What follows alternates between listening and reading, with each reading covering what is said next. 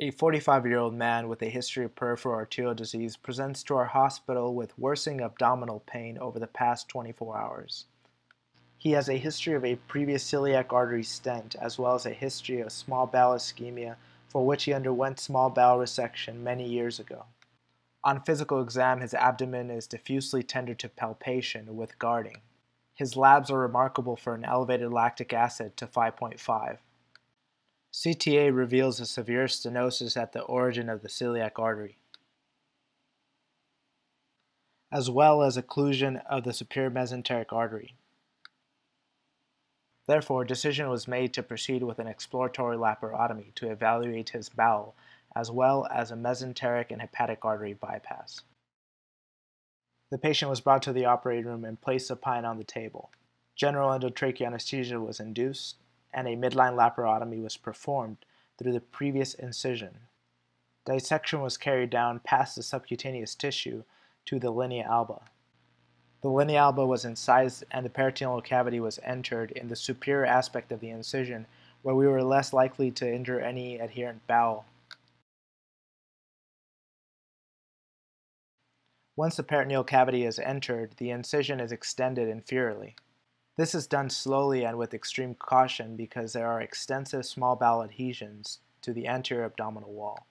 Once the entire abdominal incision is opened, we continue to take down adhesions from the abdominal wall until the entire abdomen is freed and we can freely mobilize the small bowel. The falciform ligament is ligated to avoid tears to the liver as shown here.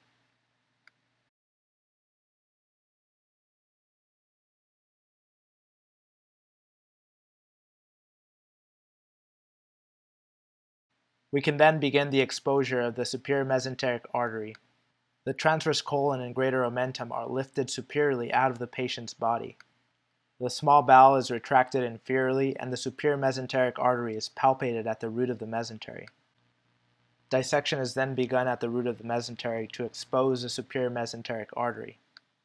On our dissection, the middle colic artery is encountered first and we follow this artery down to find the superior mesenteric artery.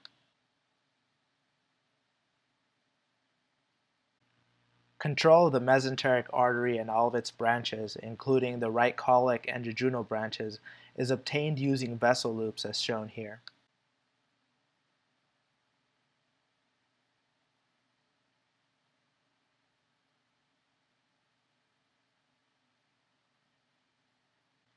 The vessel loops are clipped and tucked away as we proceed to expose the infrarenal aorta. For this, the retractors are repositioned to retract the small bowel to the patient's right, which is brought underneath the right abdominal wall. The transverse colon remains retracted superiorly and out of the way. We feel the aortic pulse and incise the posterior parietal peritoneum to enter the retroperitoneum and expose the aorta. Control of the distal aorta just above the aortic bifurcation is obtained using an umbilical tape. The peritoneal incision is extended to expose the proximal infrarenal aorta. In the same fashion, control is obtained with an umbilical tape. The IMA is dissected free and control of this is obtained using a vessel loop. With the exposure of the aorta complete, we now turn our attention to the hepatic artery. The stomach is retracted inferiorly. The lesser omentum is incised to enter the lesser sac. Dissection is carried down near the superior border of the pancreas until the common hepatic artery is identified. The common hepatic artery, proper hepatic artery, and GDA are exposed and controlled with vessel loops. Now that all vessels are identified and exposed, we can begin our bypass. The patient is fully heparinized, and once a proper ACT is reached, the infrarenal aorta is clamped proximally and distally using padded Fogarty clamps. These clamps help prevent damage to the vessel wall in the setting of calcifications. An aortotomy is created with an 11 blade and extended with scissors. A small chunk of the calcified aorta is cut out to prevent our aortotomy from collapsing on itself. A bifurcated graft is then sewn to the aorta in an side fashion using running 3 Prolene suture.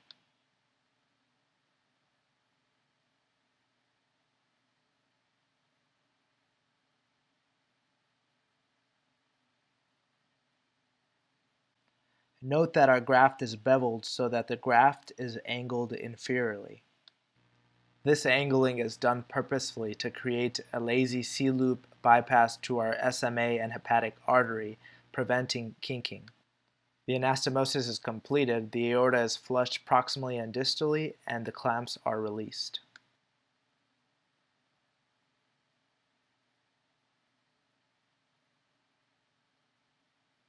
We then return to our superior mesenteric artery exposure. A limb of that graft is brought over in that lazy C-loop configuration. It is noted to sit well without any kinks.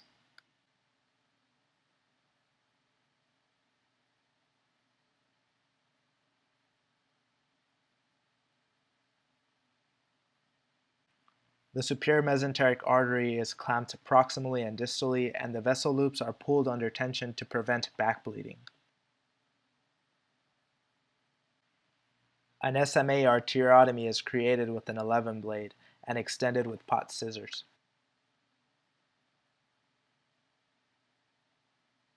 The graft is marked and fashioned to appropriate length as shown here. We then create an end-to-side anastomosis between the graft and the superior mesenteric artery with 6-0 Prolene suture in a running fashion. After the anastomosis is complete, all the branches are backbled and flushed, and the SMA clamps are released. We perform an intraoperative Doppler evaluation to ensure that the flow within our bypass and our SMA is appropriate. Next, the hepatic artery is re-exposed.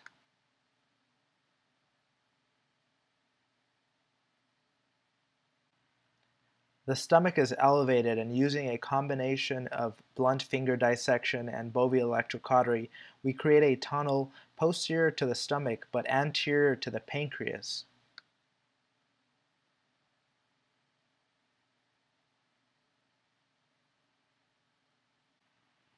The transverse colon is then elevated and the tunnel is carried through the mesocolon.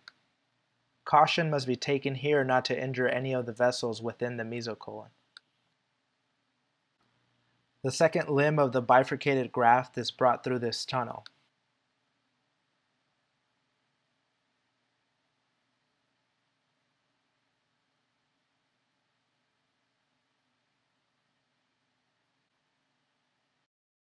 We cut the graft to length and bevel it appropriately. The common hepatic artery is clamped proximally and distally.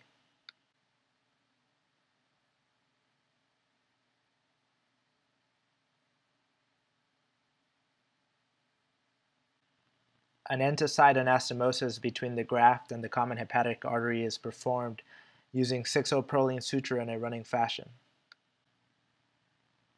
The clamps are then released after the anastomosis is performed, and again, using Doppler intraoperatively, we check our graft and we check our hepatic artery.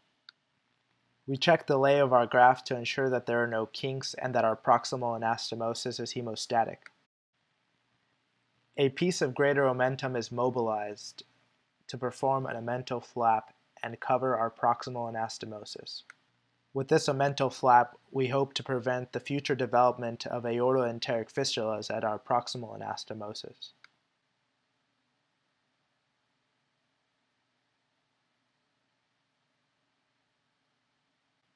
Because this patient had a redo abdomen and multiple abdominal wall hernias were encountered when the abdomen was entered, we employed the help of our general surgery colleagues to perform a complex abdominal wall closure.